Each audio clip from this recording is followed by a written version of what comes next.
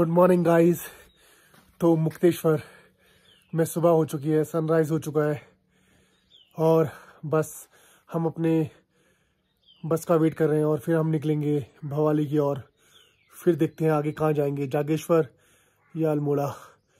और अभी मैं आपको दिखाता हूँ जिस होम स्टे में मैं रुका हुआ हूँ, जो कि मैंने लिया था कल। ये देखिए, अलंकार होम स्टे ये होम स्टे है।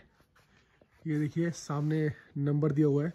तो जब भी आप मुक्तेश्वर आए तो यहाँ पे आके आप रुक सकते हैं। अलंकार रेस्टोरेंट एंड होम स्टे और यहाँ से जो मंदिर की जो दूरी है, वो हाफ़ किलोमीटर की दूरी पर है। और ये काफ़ी रीज़नेबल है। तो जो हमें ये पड़ा है ये पड़ा है हमें थर्टीन हंड्रेड का, क्योंकि अभी सीज़न नहीं है इसलिए।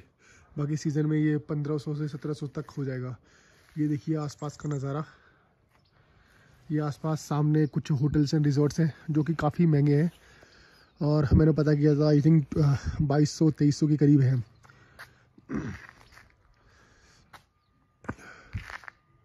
ये देखिए, काफ़ी सुंदर है। और सामने से ये देखिए पीछे व्यू। तो जब भी आप आएँ तो ये होम स्टे काफ़ी अच्छा है व्यू के लिए। तो आप यहाँ पे रुक सकते हैं।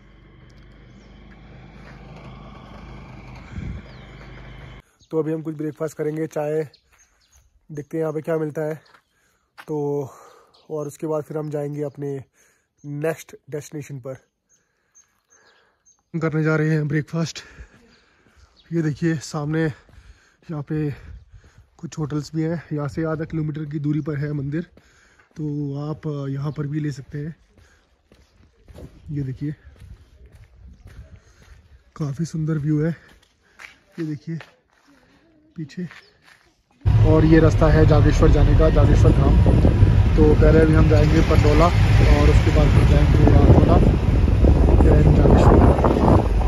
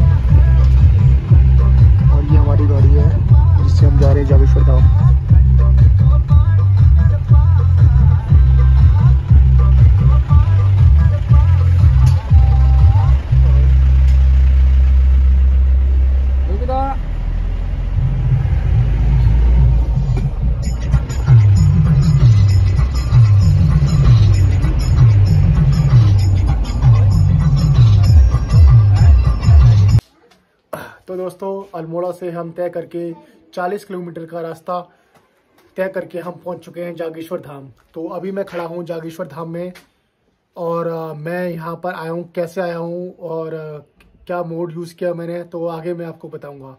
और ये देखिए मेरे पीछे नज़ारा जागेश्वर धाम का। और यहाँ पर अभी हमने ये पीछे होम स्टे लिया है। तो अभी हम जा रहे हैं मंदिर की ओर। दर्शन करने के लिए साढ़े छः बजे मंदिर बंद हो जाएगा। और ये देखिए, नज़ारा जागेश्वर धाम का। काफ़ी शांतिमय है यहाँ पर। ये देखिए सामने, और वो सामने जागेश्वर धाम जाने का रास्ता। तो चलिए चलते हैं आगे, जागेश्वर धाम। बोलिए हर हर महादेव। ये देखिए सामने है जागेश्वर धाम मंदिर। अभी हम जा रहे हैं आगे दर्शन करने के लिए अंदर की ओर।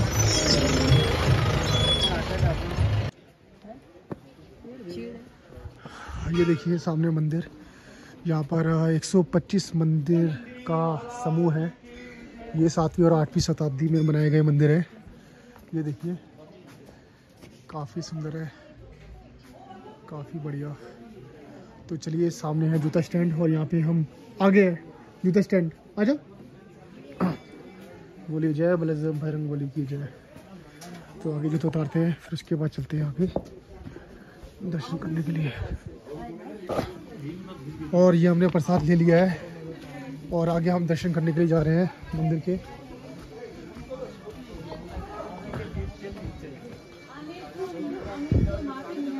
ये देखिए।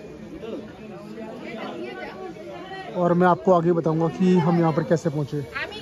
अल्मोड़ा से। और दिल्ली से भी आना है तो वो भी बताऊँगा कि दिल्ली से हम कैसे पहुँचे।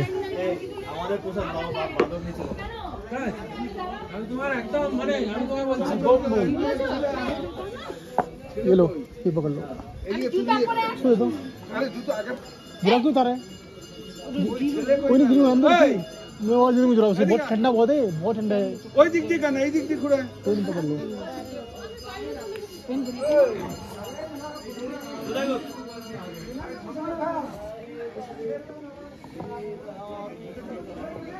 महीना ना कितना? तो जय भोले शंकर जय भोले शंकर और ये स्वयंभू है। और जैसा कि बताया गया है कि विश्व में ये पहला शिवलिंग है जो कि जागेश्वर धाम में है। और ये देखिए काफ़ी सुंदर और काफ़ी भव्य लग रहे हैं भोलेनाथ जी हमारे। और यहाँ पर आकर काफ़ी शांति मिल रही है। तो बोलिए जय भोलेनाथ।